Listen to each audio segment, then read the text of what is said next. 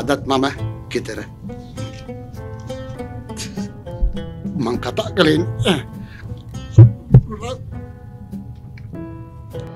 රටේ අහිංසක දුප්පත් මිනිසුන් වර්තමාන දූෂිත පාලන තත්ත්වය යටතේ ආර්ථික බරින් හෙම්බත් වෙලා හරි හමන් හුස්මක් ගන්න නැතිව බිත්තියටම හිරවෙලා ඉන්න මොහොතක අදම දේශපාලන තක්කඩි විසින් හොරාකෑම් කොමිස් ගැනීම් වලට තිත තියනවා වෙනුවට Tamanගේ මඩිය තද කරගන්නේ ඇස් නොපෙනෙන රෝගීන් වෙනුවෙන් විදේශීය රටවලින් ගෙන්වන ලද ඇස්කාච සඳහා ගෙවන මුදලටත් කොකා පෙන්වමින්. ඇස් උඩ යන සිදුවීම නම් මෙවැනි දූෂණ නාස්තිය මඩිය තද කර ගැනීම වැනි අසිෂ්ට ක්‍රියාවන් හෙළිකිරීම හෝ එවැනි අසිෂ්ට ක්‍රියාවන් වලට විරුද්ධව දුප්පත් අහිංසක මිනිසුන් වෙනුවෙන් පෙනී සිටින අවංක නිලධාරීන්ගේ කටවල් වැසීම් සේවයෙන් නිවත් කිරීම සේවය අත්සිටුවීම් කරන්නේ දූෂිත දේශපාලුවන් දූෂිත රාජ්‍ය නිලධාරීන් සහ ඔවුන්ගේ ගජමිතුරන්ගේ අනාගතය සරු කිරීමට බව යම් පිරිසකට අද වන විටත් නොහැටහෙන්නේ ඔවුන්ගේ අසිෂ්ට ක්‍රියාවන්ට ආශිර්වාදයක් වෙමින් මැරෙන එකෙක් මැරෙද්දෙන් හොරා කන එකෙක් හොරා කාපු දෙන් මට මොකද එහෙම හිතන තමන් ගැන පමණක් හිතන ආත්මාර්ථකාමින් මිනිසුන් දාහක් අතර දියුණු රටවල් වලින් තම රටට පැමිණෙන ලෙස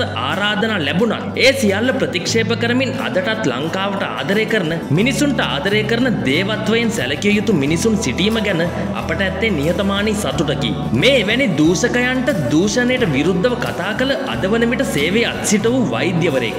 ඔහු නමින් ටමල් සංජීව පැවැත් වූ මාධ්‍ය සාකච්ඡාවකදී සාක්ෂි සහිතව දූෂණ අක්‍රමිකතා රැසක් හෙළි කරේ මේ විදිහට ගියොත් රටේ මිනිසුන්ට හෙටක් නෑ යන තත්ත්වය පැහැදිලි කරමින් ඔහු සංවේදීවමින් කඳුළු සලමින් කළ ප්‍රකාශයක කොටසක් තමයි මේ දැන් සෞඛ්‍ය අමාත්‍යංශය පිළිගන්නවා අපේ රටේ සමස්ත මන්ද පෝෂණය 150 ඉක්මවා තියෙන බව. හැබැයි අවාසනාව කියන්නේ මන්ද පෝෂණය ගැන 130ක් 150ක් තියෙනවා කියලා කියපු මාව සේවය අත්සිටුවන්න පියවර ගන්නවා. ඒ නිසා අදටත් මම ගෙදර අපි අපේ වැටුප් වැඩි කරගන්න කතා කරේ නෑ. අපි අපේ දීමනා වැඩි කරගන්න කතා කරේ නෑ.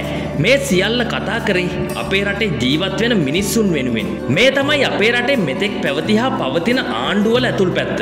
ඇත්ත කතා කරන මිනිස්සු නිහඬ කිරීම මුලින් මේ රට ගොඩගන්න නම් මේ දේශපාලන සිස්ටම් එක වෙනස් කළ යුතුමයි. ඒ සඳහා මේ වීඩියෝක බලපු ඔබෙත් දායකත්වය නොඅඩුව නොමසුරුව ලබා දෙන්න.